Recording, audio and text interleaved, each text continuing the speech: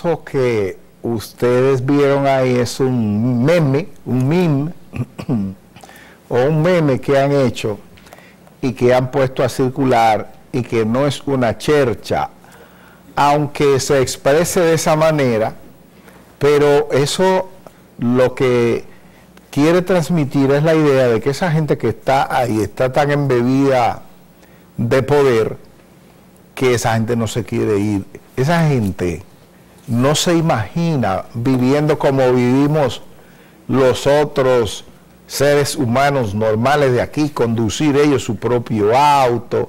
Por ejemplo, llegar a un sitio donde hay tapones que usted va y tener que quedarse tres o cuatro esquinas eh, porque no encuentra parqueo y tener que ir a pie, si llueve, si, está haciendo sol, coge su sol, si está eh, lloviendo, eh, rocearse de agua.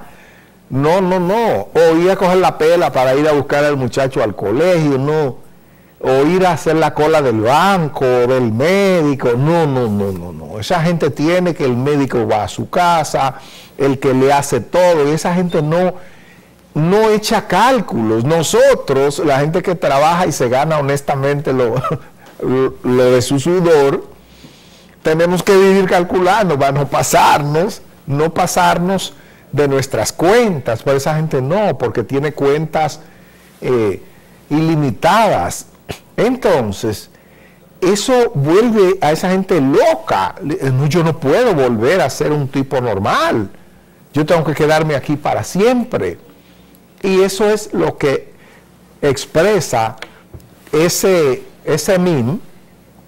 O sea, esa gente que ustedes lo ven así, esto está muy bien logrado, es gente que está, oye, eh, no tenemos que quedar aquí. Se les ve la desesperación en la cara de que se tienen que quedar y por eso ustedes vieron que la hermana del presidente salió no, es que tenemos que quedarnos, que tenemos que reelegirnos todo. Y vamos a soltar esto. Porque mejor arriba con expresión que abajo con depresión. Y, ya ustedes saben, porque no le hablan al pueblo de que, bueno, tenemos un proyecto.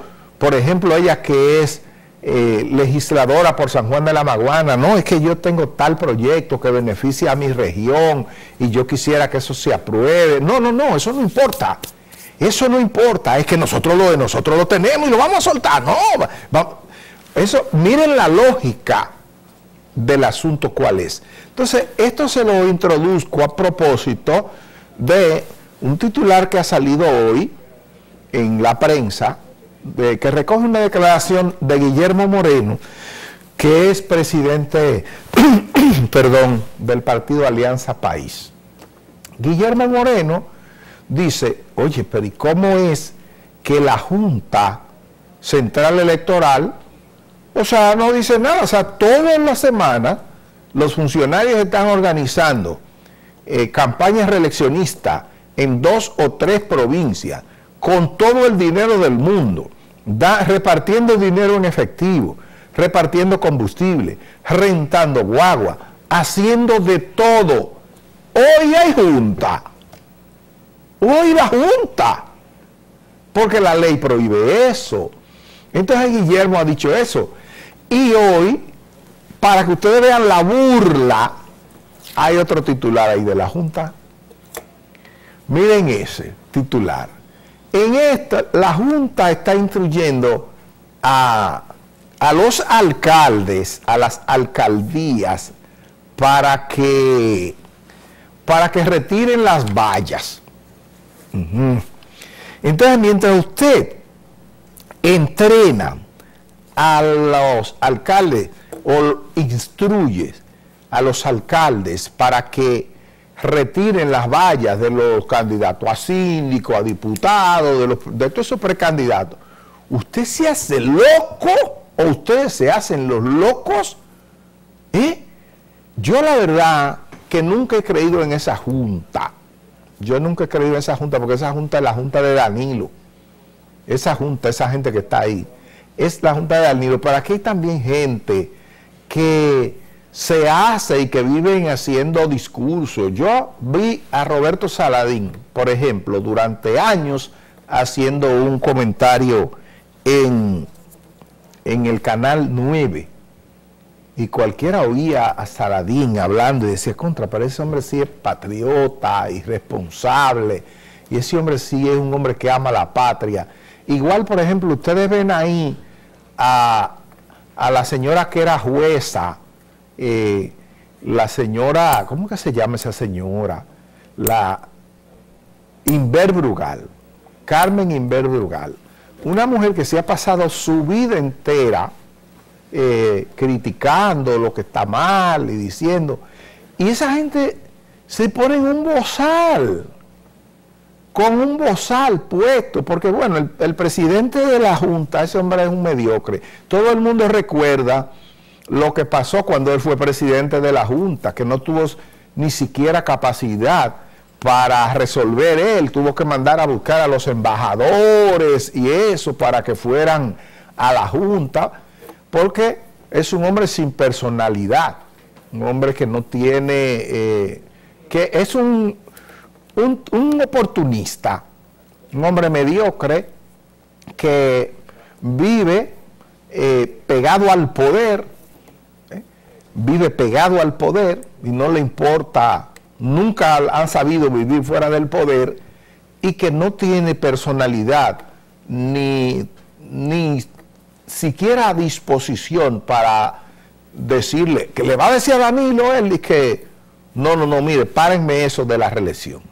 No, pero por lo menos uno espera que gente como, yo no espero ya de ellos después que he visto lo que son, pero como Roberto Saladín, que era un hombre que hablaba tanto, uno espera que hiciera un pronunciamiento y dijera algo, o esa señora que vive todavía, vive escribiendo cosas. Entonces, son gente que han validado una, eh, una personalidad eh, supuestamente comprometida ante un pueblo y que sin embargo es gente que está calladita viendo una ignominia como eso, porque aquí no me van a decir los miembros de la Junta que ellos no están viendo lo que está pasando aquí, porque las actividades reeleccionistas no son nuevas ni son ocultas, pero además lo que se está haciendo es, se supone, violatorio a la ley electoral y ellos tienen un instrumento que les permite eh, llamar la atención eso, porque ellos están fuera de tiempo, el gobierno está usando recursos públicos así de manera descarada para promover una reelección que está prohibida en la Constitución. Yo, perdóneme, yo no, no es que me encuentre que los otros precandidatos que están haciendo campaña, que eso es correcto, no, porque dirán, ah, bueno, pero Marino no habla de otros precandidatos que están haciendo campaña. No, el problema es el siguiente. Si un precandidato por ahí eh, hace una colecta, una gente que esté en la oposición, que no maneje una institución pública, y esa persona no coge los recursos míos y del pueblo para hacer eso, bueno, él debe ajustarse a los tiempos, a, los calendarios que establece la ley pero no es tan grave como que el presidente de la República esté organizando todos los fines de semana dos y tres actividades reeleccionistas en dos o tres provincias donde se concentra una gran cantidad de dinero, donde se reparte combustible, donde se rentan autobuses donde se llevan a los empleados públicos a la mala bajo chantaje y entonces que no se pueda, oye, que no se pueda, eh, que la Junta no vea eso, que la Junta no diga nada. O sea, es una Junta de mediocres, una Junta parcializada, una Junta de la que este país no puede tener esperanza de que va a hacer un papel decente, porque desde ya uno está viendo el nivel de sumisión de ese grupo de personas al gobierno.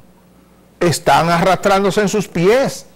Esa gente no ha tenido la dignidad, no ha tenido la responsabilidad de decirle al presidente, que es el jefe de ese, de ese grupo, oiga amigo, usted no puede hacer eso, usted no puede usar los recursos públicos para andar los senadores y, los secretarios de Estado y toda su gente llevando a los empleados públicos toda la semana a un sitio y estar repartiendo dinero y haciendo... No, usted no puede hacer eso. Pero no, ahí no hay para que la gente no vaya a creer. Ahí no hay la decencia y la responsabilidad en ese grupo de gente para hacer unas elecciones limpias y decentes en este país. Eso se comienza desde el principio, desde ya lo están haciendo mal y Guillermo Moreno tiene toda la razón cuando ve con indignación, oh, estos tipos así, calladito ante una desvergüenza tan grande. Y como les decía, ante una situación que está prohibida por la Constitución. La reelección está prohibida aquí por la Constitución. Digo, la reelección de Danilo Medina, porque ya él agotó eso. Entonces, está bien que el propio Danilo dijo que, que él iba a tirar que había que tirar todos los escrúpulos en el zafacón y que él no tenga escrúpulos. Oye, pero se supone que la gente de, de la Junta, aunque sean inescrupulosos como personas, y lo son, pero están ahí para cumplir un mandato. Y entonces, calladito. Y obviamente uno aquí ve a la gente de la oposición muerto de risa, muerto de risa y no se dan ni siquiera cuenta de eso. No, primero que sale Guillermo Moreno diciendo eso. Vamos a la pausa.